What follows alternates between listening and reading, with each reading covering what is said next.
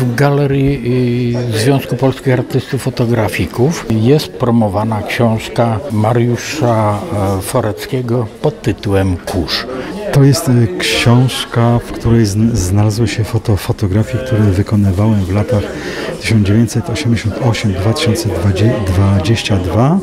To jest opowieść o mm, rozpadzie krajów y, byłe, byłego ZSRR, mm, o tym wszystkim, co stało się, o kurzu, który powstał po tym rozpadzie i o tym, że co, co wyłoniło się z kurzu, co zobaczyliśmy, gdy opadł.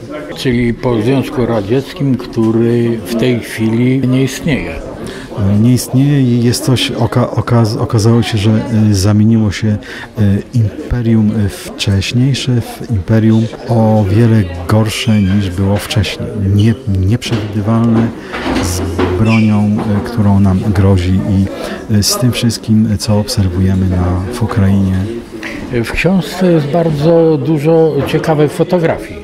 To są foto, fo, fotografie z człowiekiem w roli głównej, a z tym wszystkim, co spotkało mieszka, mieszkańców by- byłych republik, ale też Afganistanu, ponieważ w książce znalazły się fotografie z Armenii, z Czeczenii, z wojny, z Krymu, z Afganistanu, z, Li, z Litwy, y, z Birobidżanu y, i podsumowaniem y, książki są foto, fotografie, które zrobiłem w roku 2022 w Przemyślu na dworcu kolejowym i na przejściu w Medyce tuż po rozpoczęciu po y, agresji Rosji na Ukrainę. Jako, że to jest niewielki nakład tej książki, gdzie będzie ją można kupić? Y, Książkę można y, dostać w księgarni internetowej Pix House pod adresem www.pix.house.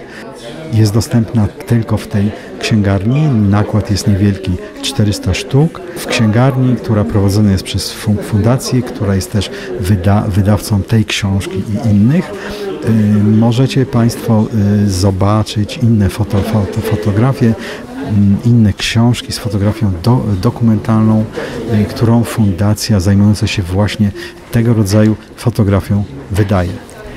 Zatem zapraszamy do nabycia książki y, Kurz y, autorstwa Mariusza Foreckiego. Dziękuję Panu.